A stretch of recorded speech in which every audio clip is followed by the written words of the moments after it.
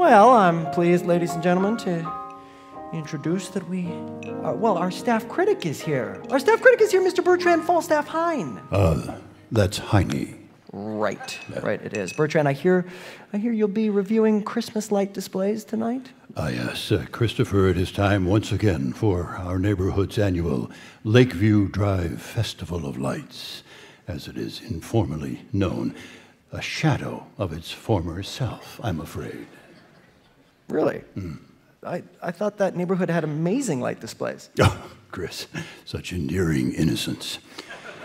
Perhaps you missed the first home on the block, a bungalow belonging to Jack and Margaret Miller. An understandable oversight since the Millers' gleaming golden ramparts of yesteryear have given way to a wan display of cold porch light and perfunctory bulb work. I hear they're in Florida, but that is a sorry excuse.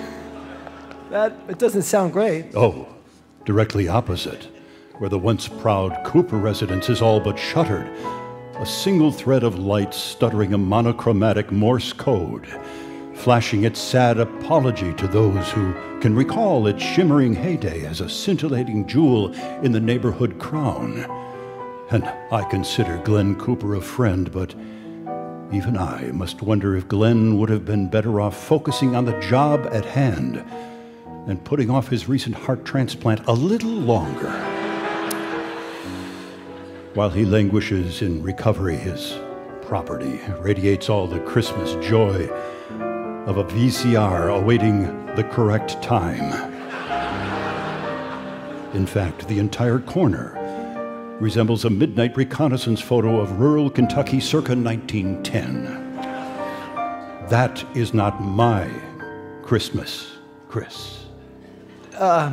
No, I, I, I understand that. Um, they, they can't have all been disappointing, though, right? I mean, lots of amazing houses out there, all lit up. Ah, focus on the positive, is it?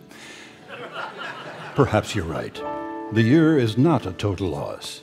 No, Donald Nelson's animatronic nativity scene is a modern miracle of sight and sound.